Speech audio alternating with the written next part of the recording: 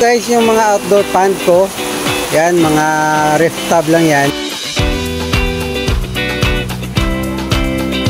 Nagkakaroon niya ng duck niya.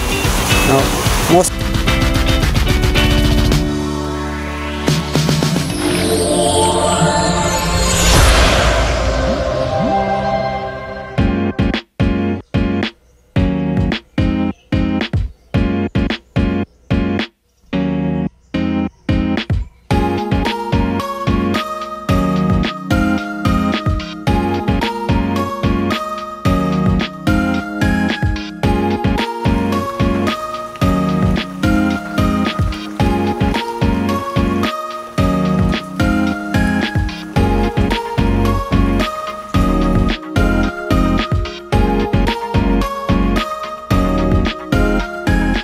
Guys, nagtigil na rin ang ulan and siguro sa ngayon guys medyo mainit ang panahon o buong araw ay mainit.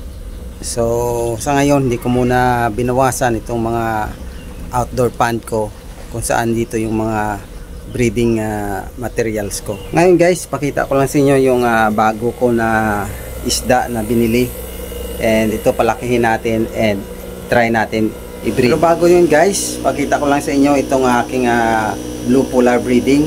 No, tuloy-tuloy pa rin to yung blue polar natin sa pagbe-breed ng blue polar. O kasi itong mga blue polar, padamihin natin to. And by the end, by probably by December, bilangin natin kung ilang uh, piraso na blue polar ang na-produce natin. So ito guys, ang pair 1 ng blue polar ko. Yan, so ito ang male na blue polar. And doon naman sa likod ay ang female na blue polar. So tuloy-tuloy lang to guys no yung pagbi-breed ko ng blue polar kasi ma ma madali to sila i-breed tsaka mabilis sila dumami. No, napaka caring itong mga blue polar sa kanilang mga uh, anak.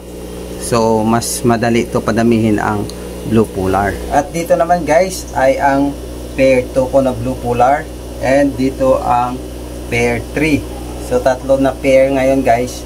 Yung blue polar ko na currently binibig ito yung second pair guys na blue polar. Actually ito sila guys nag start na rin to nag breed na buo na rin yung mga itlog. Kaya lang nangyari medyo nabigla sila. Kinain nila yung mga mga anak nila. And wala may nakasurvive. So ngayon ito kinakondisyon ko sila ulit para sa second breeding nila. At dito naman guys sa third uh, pair ko na blue polar, ito sila guys mga bagong-bago talaga to na game pairing ko. Itong female, ayan ang malaki yung male and bago ko lang to sila guys na pair. So hopefully probably uh, mga within 2 to 3 weeks to mag-start na rin mag-breed itong mga blue polar na nandito kasi ito sila mga adult na rin to and ready to breed na rin. So may nagtanong guys no kung magkano ang cost ng blue polar kapag binili nyo siya sa pet shop. So ang blue polar guys pag medyo malaki na nagpa-price siya ng 60 to 100 pesos. Pero pag medyo maliit pa nasa 45 to 50 pesos naman ang presyuhan nitong blue polar. Pero kapag ang blue polar binili nyo sa breeder no, sa certified breeder. Probably ito mabibili nyo to sa 30 uh, 25 to 35 pesos. No, ang isa na blue polar. Yung maliliit pa.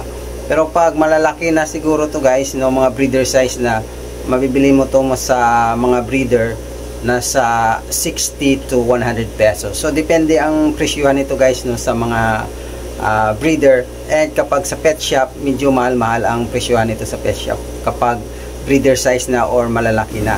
So nandito na guys yung mga first batch, second batch na blue polar.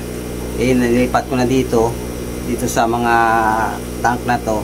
And later ito sila pag medyo malaki-laki na lilipat na rin natin to sa grow out tank no? Sa outdoor para mas mabilis sila maglaki doon. So itong mga blue polar guys, no need na to kailangan na kailangan ng ano no, ng aeration, no. Pwede sila mabuhay kahit walang aeration. Basta ano lang, uh, maganda lang yung quality ng tubig and nasa outdoor.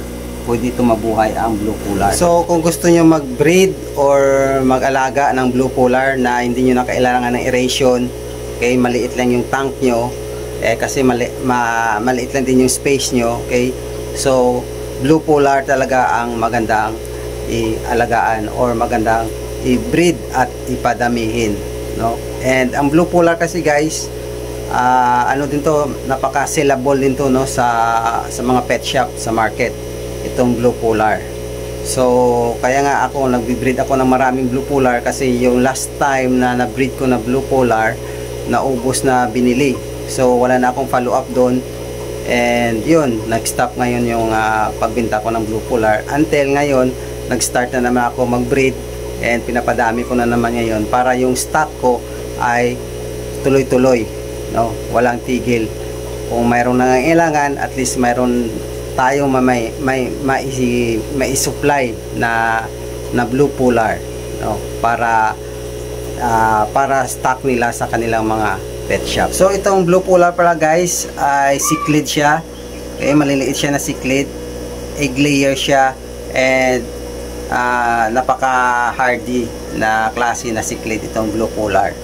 So, kaya gustong gusto ko to i-alagaan ng blue polar, i-breed ang blue polar kasi hardy siya and mabilis siya dumami. No, compare sa other na sa ibang klaseng cichlid na medyo mahirap i-alagaan saka i-breed. Unlike dito sa blue polar. So ngayon guys, i-share ko sa inyo yung uh, nabili ko last time na bagong uh, isda okay, na alagaan ko, malakihin ko and start ko rin i-braid. So ito guys, yung uh, bago ko nabili ng mga isda. So ito siya ay discus. So malalaki na to guys na discus no. And probably mga 1 year pa ito start na to mag uh, mag pair up saka mag breed So sa ngayon guys, hindi ko pa alam kung saan ang lalaki, babae dito. Anyway, ang binili ko dalawa lang na mga discos. Actually guys, meron akong breeder na discos. Ito, yung dalawa na to ay breeder ko na discos. So matagal na to sa akin guys.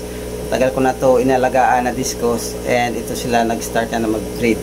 So ngayon, naglilay na rin to ng eggs, no? Last uh, last week naglay na to ng egg and hopefully probably 2 to 3 weeks maglay, mag-start maglay eggs na naman itong mga discus. So, so much about sa discus guys, no? And later, i-share ko sa inyo kung paano mag-alaga, paano mag-breed itong mga discus. So, don't forget to subscribe to my channel. So, ayan guys, sana nagustuhan nyo ng video nito and don't forget to click like and share. At kung gusto mo matuto mag-breed ng iba't ibang klaseng ornamental fish, don't forget to click the subscribe button and click the bell button para, ma-notify ka sa pinakabagong videos ko. Once again, thank you so much for watching and see you on my next adventure.